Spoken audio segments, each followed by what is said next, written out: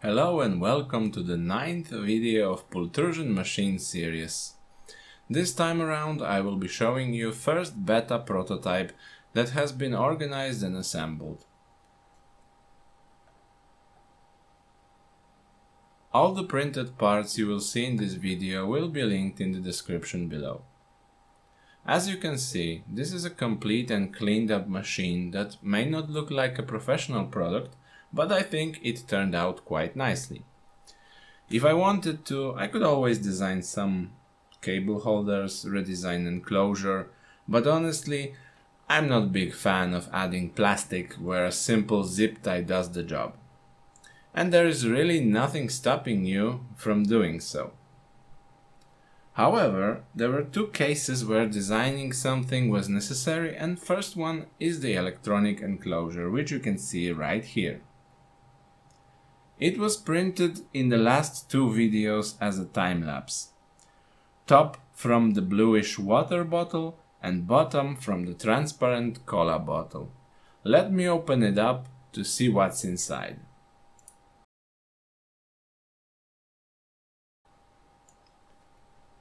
It has quite nice snap fit mechanism that doesn't require screws.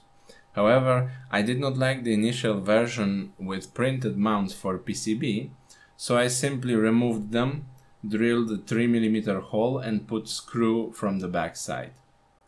Capacitors on the top are necessary, however I have already fixed that in PCB design, so you won't have to mount them like this, as they now have a proper place.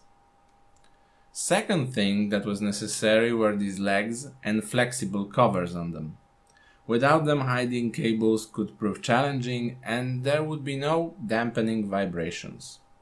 As you can see they were printed in PET, covers in TPU. From the bottom I simply screwed a couple of screws and zip tied the cables around them. Here is also a step-down converter that produces 5 volts for the microcontroller.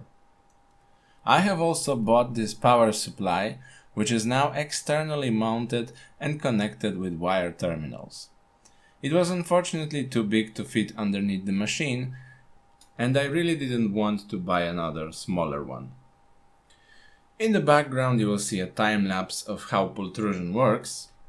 Spoiler alert, the same as in video number 5, just without the cable spaghetti. So let's wrap up this series with some final thoughts. The more I printed with PET, the more I liked it. Even for more precise things such as this entire printhead on CoreXY machine. Yes, it was printed in pure PET. It is similar material to PETG, but much more heat resistant stronger in every aspect such as tensile strength, bending durability and impact resistance than PETG. You can confirm this while watching CNC Kitchen video. So as time went on, I began to change my mind about the use case of this filament, making it my default choice whenever I want something durable. I would love to see this filament being sold in normal spools without any additives, but unfortunately neither recycled PET nor the PET I have seen commercially available comes close to the real deal. Very first sign that commercial fil filament has a lot of additives is processing temperature that you can see here. 200 to 240 degrees is a range that the real PET won't even extrude. Second sign is when a filament is being advertised as easy to print. Well, PET from bottles is the exact opposite to easy to print. Of course, I have not seen all available products, so if you know one that sells a genuine PET, let me know in the comments down below.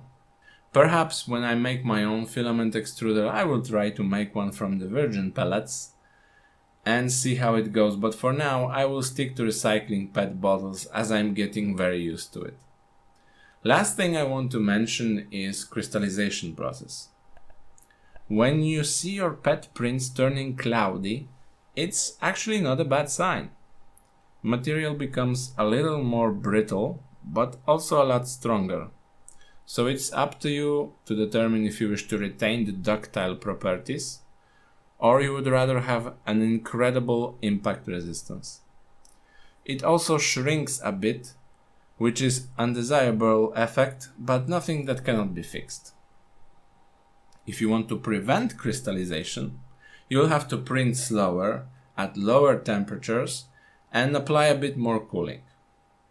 Do the opposite if you wish to crystallize your prints.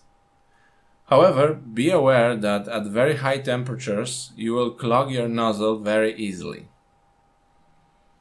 This wraps up this video. Hope you learned something and let me know your thoughts in the comments down below. Next video series will be about transforming Tronxy X5SA to a better printer.